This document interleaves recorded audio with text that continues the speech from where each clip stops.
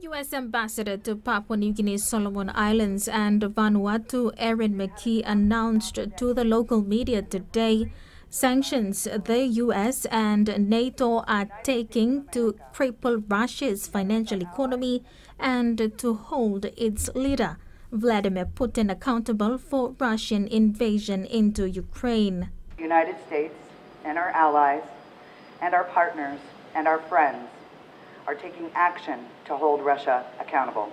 As a result of unprecedented global sanctions coordination, the United States, the United Kingdom, the European Union, Japan, and Canada have removed selected Russian banks from the SWIFT messaging system and have imposed restrictive measures on the Russian Central Bank.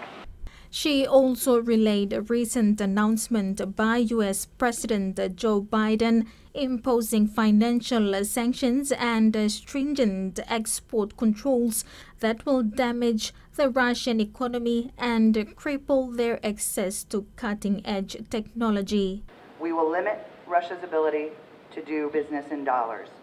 We will stunt Russia's ability to finance and grow its military we will impair Russia's ability to compete in the global economy, and we are prepared to do more.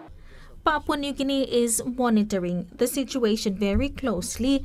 In the recent parliament sitting, Prime Minister James Marape said the conflict between Russia and Ukraine has affected the country's economy, especially the hike in world prices of crude oil. Ambassador McKee also announced that the U.S. is coordinating with oil producing and consuming countries and energy companies to look into the hike in fuel prices around the world.